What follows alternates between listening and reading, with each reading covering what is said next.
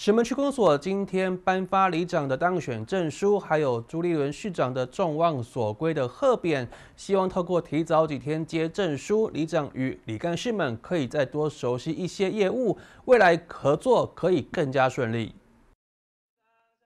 大选过后，当选人忙着卸票，也为上任做准备。今天石门区公所会议室内，邀请到今年刚刚选上的连任及新任里长来接受当选证书，并且与里干事事先熟悉，期待借此让新科里长上任后能够快速的熟悉业务。区公所也期待未来四年与里长携手建设与服务，可以打造升级版的幸福石门。今天就很高兴，我们进行我们啊第三届我们九位哈。这个高票当选的里长，好的当选证书的转发，还有市长自证他们的恭贺的匾额，好的转发。那很高兴这九位里长哦都能高票的当选。那公所在后未来的四年哦，也会继续跟我们四位里长好好的合作，一起来发展我们石门区的各里，让我们石门区的发展更进步，好，但让民众更幸福。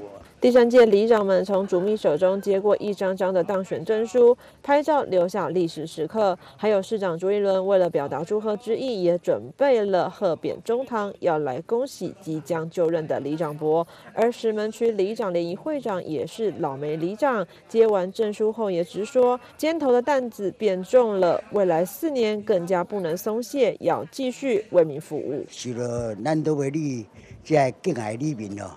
对外肯定啊认同，好啊！有这个机会再次为罗美里啊来服务，为里面来服务，为罗美里包括啊其他的所在来拍拼，所以啊有这个机会，我当然呢心内是非常欢喜。我头下讲，当是愈来是愈重啊呢，吼啊！感谢着咱哦公所的长官啊，对阮的诶这个指导啊，甲对阮的。诶，认同吼啊，对阮诶铺路，虽阮祝阮啊啊，在即个未来诶即个各项诶活动啊，甲各项诶工作，哎，阮尽量啊来付出，来经营。不论是新科还是连任里长，都将在本月二十五日来走马上任。而石门区九位里长也将在未来四年为地方与里内建设并争取福利。里长联谊会长也期许在与区公所合力推动之下，石门能够越来越美、越来越好，也越来越进步。记者赖平台石门采访报道。